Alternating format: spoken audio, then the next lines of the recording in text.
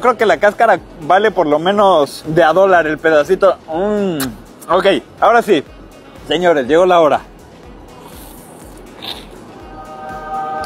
Oh.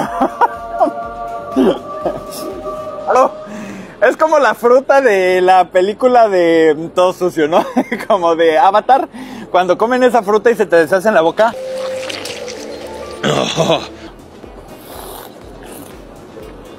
Ah.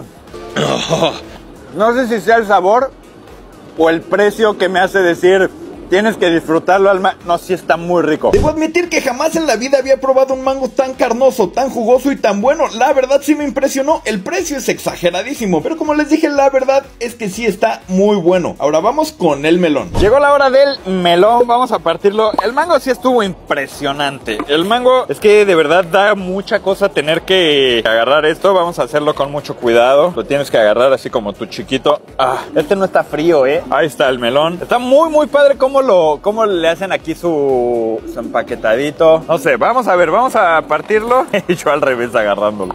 Ok, ahí está. Vamos a abrirle de acá. Jugoso sí está, ¿eh? Ya empezó aquí a escurrir como el mango. Miren. Híjole, es que la verdad es que igual y es muy caro. Pero sí son frutas que desde el inicio uno se da cuenta que están muy, muy suaves. Que traen mucha. Miren, la cantidad de agua. Ah.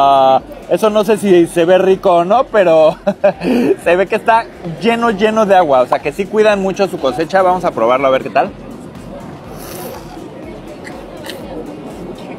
Mmm. Ok, es que sí, lo que les decía, o sea, lo que tienen es que son impresionantemente maduros, o sea, que están en su punto exacto, llenos de agua. Aquí hasta tiene su charquito de agua. Es en sabor. Por este precio preferiría dos veces dos mangos, comprarme dos de esos mangos porque el mango está impresionante. Está bastante rico, pero, pero mm, creo que nada, o sea, que no